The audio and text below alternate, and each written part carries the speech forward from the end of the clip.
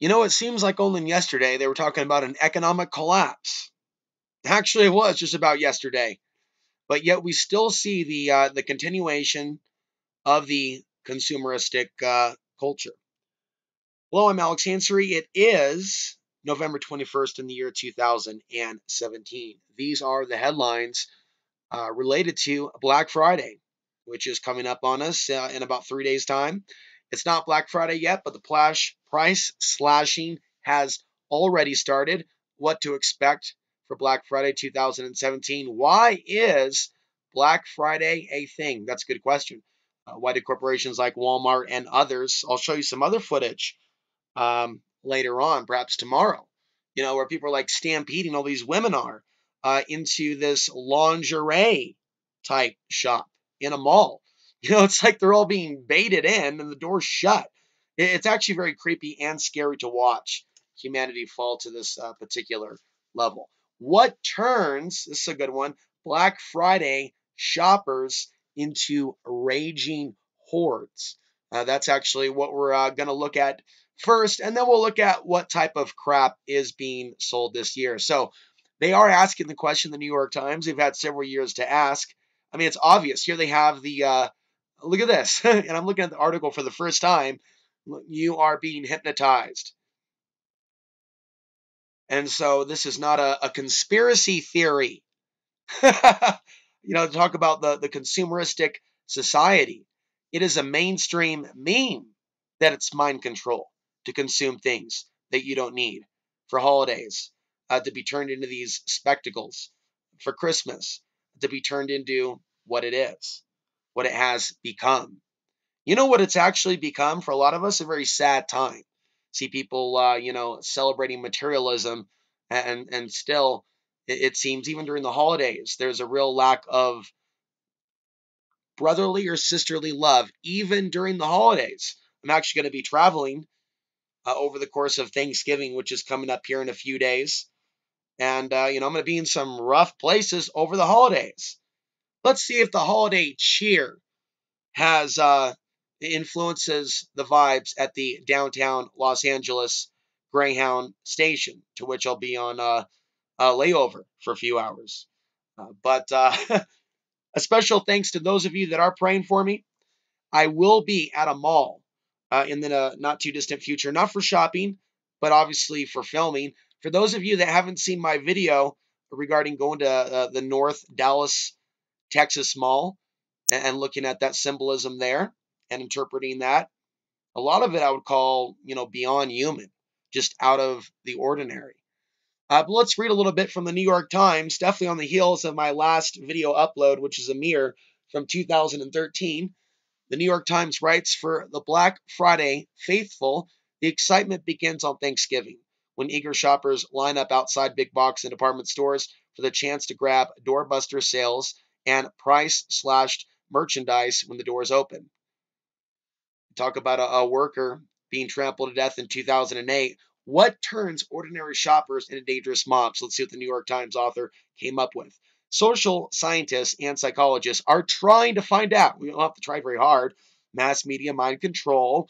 The masses are susceptible to influence. Sharron Lennon, a professor in the merchandising program at Indiana University became interested in studying consumer misbehavior after seeing news reports a few years back about fights breaking out at her local mall. Customers were physically fighting with each other. It was chaos. And if you look at the most popular videos regarding Black Friday, it is literally this world star hip hop level. And, as I've said before in other videos, people come together over the things that they hate so there are some people that will be excited about Black Friday potentially for the idea of having a, a, a conflict and it being considered normal, normal for people to run like animals, um, you know, like like it's a looting situation, and also programmed by television. Think about you know Double Dare, Nickelodeon. Think about uh, you know um, th- those game shows where people are trying to buy as much as possible. You know, people have been inundated with that and and, and that type of consumeristic um, worship being rewarded and held up in this reality TV culture. That's where people need to be looking. Anyway, for a study published in the uh, Clothing and Textile Research Journal, she and her colleagues asked 189 Black Friday shoppers about their antics. Had they ever taken an item from another shopper's cart, yelled at store workers, or gotten into skirmishes with other customers, or overturned racks of merchandise? Many of the participants, who are primarily female, white, and well educated, admitted behaviors like trashing displays or yelling at employees. Again, you're going to see that video I uh, commented over in 2013. I'll be mirroring that soon. Dr. Lennon speculates that feelings of unfairness drove many of these shoppers to behave the way that they did. Shopping and retail consumer relationship, she said, is expected to be um, equitable, an equitable exchange of good for payment. Any violation of the exchange can evoke strong feelings of inequality.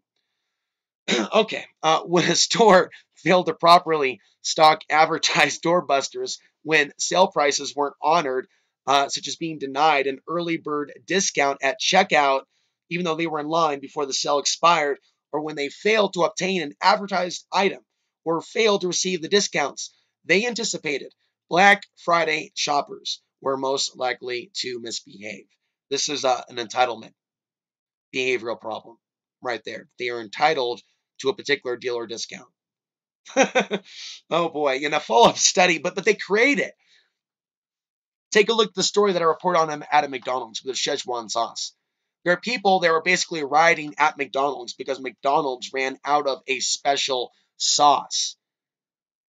Literally, and that sauce is sold at a high rate, whatever the Szechuan sauce on eBay.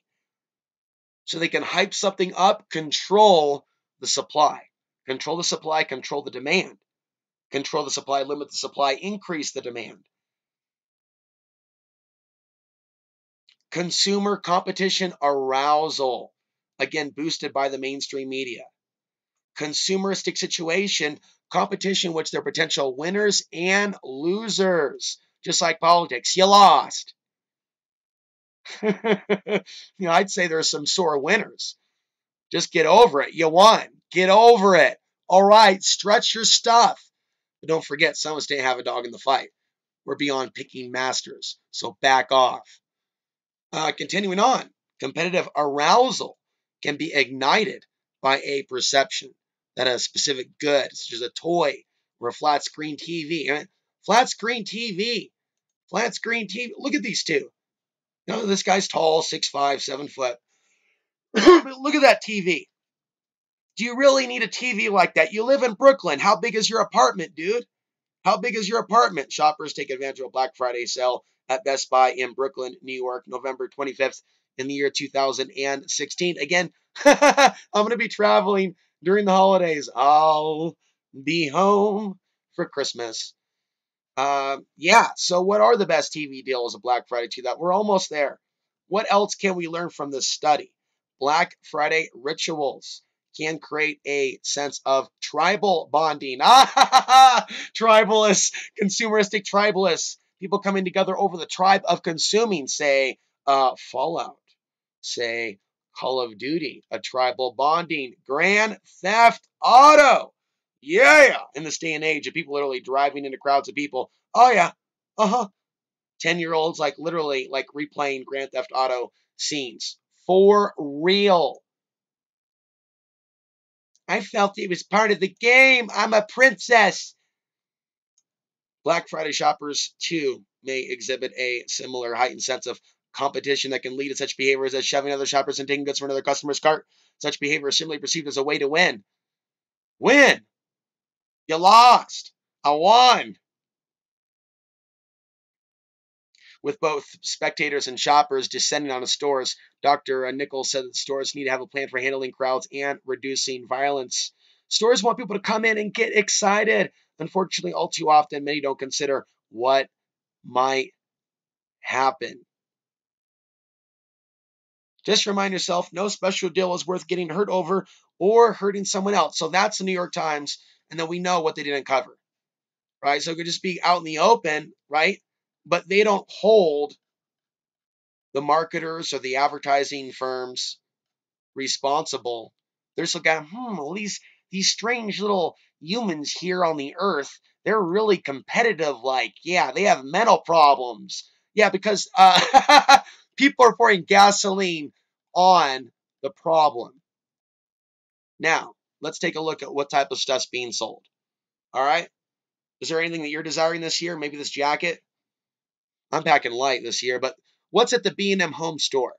What are the bargains? Looks like this is a chain in the UK. Shout out to our uh, audience members in Europe. What are the best deals at B&M? Um, they're going to be dropping the price of a coffee machine. Why don't you already have a coffee machine? You know, you can do an off-grid coffee machine with like a hand crank grinder. There I go. I'm already getting off topic. Also in the mix is a Hoover. Cordless, you know what I want? I want a hand crank off the grid blender. Something that'll just break up ice. I don't know. It's got to be out there somewhere. I just get my hand going fast enough and, and get that thing broken up here. All right. What are the best deals at B&M? Um,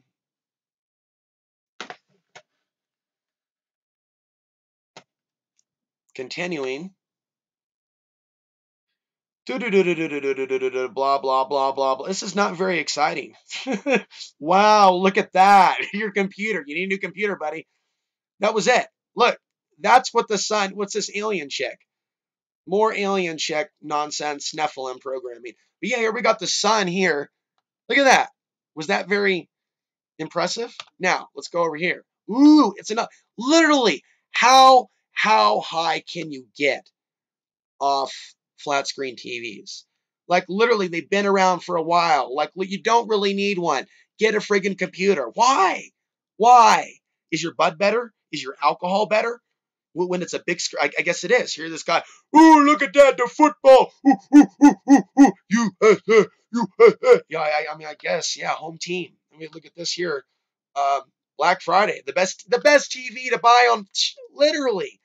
All right, $1,500 for a 55 inch model. It's down $100. And then you can get a 65 uh, 4K HDMI smart TV for 799. And then, you know, I can learn though things I haven't even known about that you get limited HDMI ports. Check to find how many HDMI ports do you friggin' need?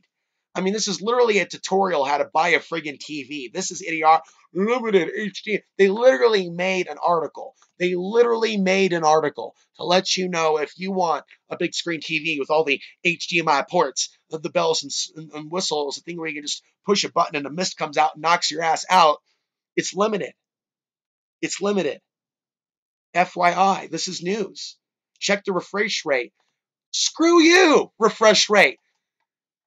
You know, see, as people won't act like a you know a, a joker with their baseball bat smashing the TV. Look, some of those people are just repeating mainstream media talking points, and, and they they have no place to talk. It's like you know, where's Homie from In Living Color? Homie, don't play that. It's not Black Friday yet, but the price slashing has already started. Black Friday sales are expected to hit 682 billion this year as people orgasm on top of images of President China's uh, Xi and, and Donald Trump singing Kumbaya together, doing like the joint New World Order handshake with all the other Asian leaders. Yeah, that's great. We're not at war. But they really are building a world government through these trade deals. It's dancing with the devil. It is the ultimate globalism on steroids. Of course, they're cooperating because there's a lot of money to be made right now in the stock market in this bull run. Now, some people say there's a warning sign there that we've been we've been riding the hog. We've been riding the hog for a long time since the 2008 2009 gangster bankster bailout fiasco. The question is, what are we going to see now? How long is this going to continue? But yeah, you know, it is definitely a 1929 gravy train. I'm not predicting the economic collapse tomorrow. I would not want to see that in my own life. That would complicate things for each and every one of us. But um, but we are seeing we are seeing success, if you will, in the stock market for those that are investing in consumerism for this particular moment in time. You know, for for those that are reaching a lot of people um, on YouTube, it isn't actually a bad time to be on YouTube the holiday season. I don't earn very much, but for those, right, that reach a lot of people, you know, the holidays does bring, for example, more money to YouTube for the content creators because of the ads. It is ad season. It is Black Friday. The roof, the roof, the roof is on fire. The roof, the roof, the roof is on fire. Our nation's economy is on fire. it, it is a ticking time bomb. Um, a, a, strong uh, stock market, which is good for Walmart, J.C. Penney, Sears, Target, Best Buy. You know, that is not necessarily good for us. Um, the tablet addiction is not necessarily good for us. You know, I see people out there and I'm not perfect. I've suffered from internet addiction. That's one of the reasons that I'm, I'm going to take a trip is to get away from covering so much, you know, political stuff and feeling isolated. I'm going to go out and see the world. You know, I'm going to go out and observe people consume in their natural habitat here on Earth, this petri dish that the flat earthers forgot to look at for what it is and really go down the rabbit hole and wonder what is this matrix? Why are we here? But yeah, I mean, that's a no brainer. Just because it's good for the corporations doesn't mean that the U.S. economy and the debt is reaching some sort of um, resolution. And, and, what are the top mind control video games this year? I'm curious. Uh, talks about computers, cameras, sports equipment. Black Friday is still king, with 115 million eager Americans planning to make the most of doorbuster sales and other low prices. Kohl's, J.C. Penney, Wallet Hub, According to data from Adobe, shoppers looking for tablets, appliances, TVs, and jewelry should buy online on Black Friday. On a similar note, it recommends waiting until Cyber Monday, whenever the hell that is. I guess that's after Black Friday, uh, to buy toys online, right? Like those little monster zombie alien dolls, right? Training little girls to get on the pole off on alien offshore planets at the earliest age possible. So yeah, there we have it. Excuse me. So what else? What else are we going to look at? And then we'll close, right? Oh, I'm, I'm just getting my audience excited. So again, 75 inch TVs, 55 inch TVs, 70 inch TV. What you want? A 50 inch, uh, 70 inch, 55 inch? Uh, I give you blah blah blah. But, but but the question is, which one of them hooks into the back of your head? Maybe next year we'll have some additional items to promote. For now, I am Alex Ansary. Signing off. Subscribe if you're new. Support if you can. Get ready for a road trip. And I will see you in the next video.